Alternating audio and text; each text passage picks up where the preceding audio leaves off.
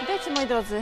Dzisiaj chciałam poruszyć temat, który związany jest z taką trudną sztuką odnalezienia się w sytuacji, kiedy ktoś ma inne zdanie albo inny pogląd na dany temat. I ja podczas moich szkoleń widzę, że czasami ludzie bardzo się napinają, w dziwny sposób reagują, jeżeli ktoś ma zupełnie inne spojrzenie na dany temat. I niektórzy mówią e, bardzo emocjonalnie i mówią, ale nieprawda i nie masz racji, a ja się nie zgadzam, a ja uważam, że jest inaczej, jeszcze tym palcem tak dziobią.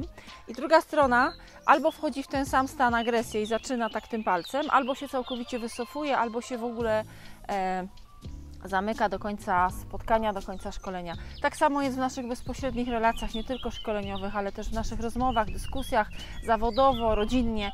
Ten temat się przewija bardzo często i ludzie pytają, no i co z tym zrobić? I ja Wam mogę sprzedać ten patent, ten sposób, którego ja się nauczyłam podczas moich, e, mojej szkoły trenerskiej i mnie to bardzo pomogło w mojej pracy zawodowej, w mojej pracy e, z moimi klientami, a czasami trafiam na klientów trudnych i to jest normalne.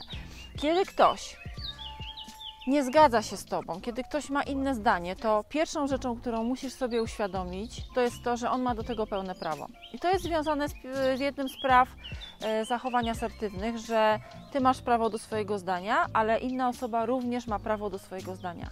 I wiele razy złapałam się na tym, że jak sobie zaczęłam uświadamiać, że no okej, okay, przecież to, co ja powiedziałam, może dokładnie tak samo zarezonować dla innej osoby i on może się z tym kompletnie nie zgadzać. Więc ja mam prawo do swojego zdania i ty masz prawo do swojego zdania, jest to normalne. Tylko chodzi o to, żeby za tym, że mamy świadomość, że tak jest, poszły słowa. I uczestniczyłam w wielu sytuacjach, kiedy ja sama użyłam tego słowa z lekkością, z uśmiechem i wiem, że to bardzo mocno rozładowuje trudne sytuacje w sytuacji, kiedy ktoś zupełnie inaczej e, postrzega dane zagadnienie.